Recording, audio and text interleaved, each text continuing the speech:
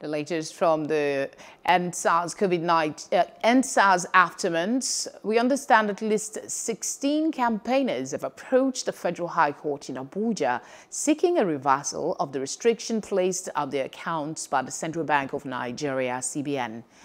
In a supporting affidavit, the CBN had also alleged that the EndSARS campaigners might have received their funding through terrorism and asked the judge to swiftly freeze the account. However, 16 of the affected persons on Thursday filed a motion through their lawyer, Femi Falana-San, to set aside the order. They based their application on 13 grounds.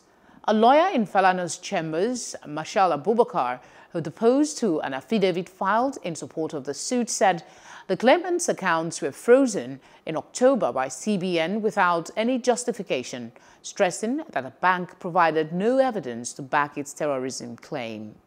Now, two lawyers, Adekunle Augustine and Simeon Akogu, have gone before the Federal High Court in Lagos seeking an order disbanding the Lagos State Judicial Panel of Inquiry.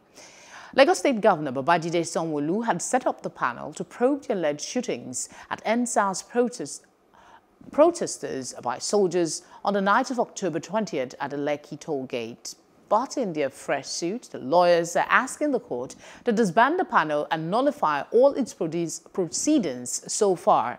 The plaintiffs are contending that since the soldiers who allegedly shot at EndSARS protesters at the Lekki toll gate were allegedly invited by the governor, the same governor cannot set up a panel to probe the incident. The lawyers say they need to be a credible and independent commission of inquiry set up by the federal government.